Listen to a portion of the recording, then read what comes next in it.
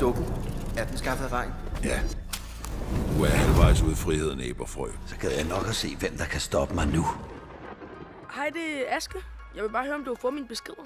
Jeg savner dig helt vildt. Møs, møs. Lad du være.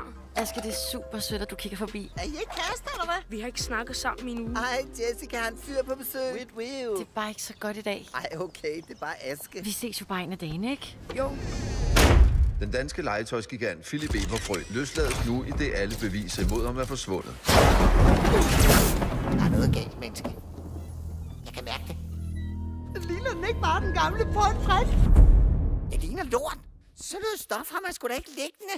Medmindre man bygger opslagstavler for julemanden. Det er en stor dag for mig. Det er nødt til at være der, når de stiller ham løs. Nå da da. Og sikke omgivelser.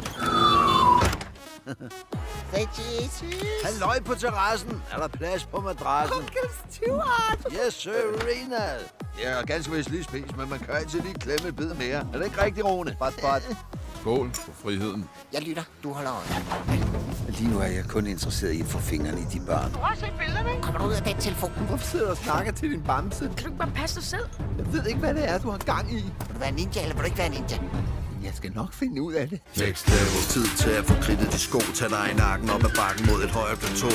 Next level. Og Valder må stoppe, hvis lejen er god, klar til næste niveau. Den her er svær toer. Next level. Who the fuck are you? Hvad fanden et lort, du er? Vi er på mission. Sjov som du glemmer det, lige så snart telefonen ringer. Kæft, du er en dårlig ven. Ja, du er en dårlig ninja. Jeg skal i gang med 10. Bitches.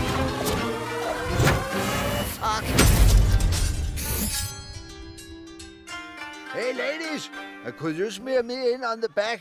Then I can smear you in on the front.